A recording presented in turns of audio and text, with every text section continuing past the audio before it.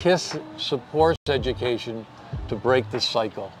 It Right. breaks the cycle where these children now have an opportunity to a new life. That's beautiful. Oh my gosh, Louis, thank you so much. Thank, you, you for this for amazing interview.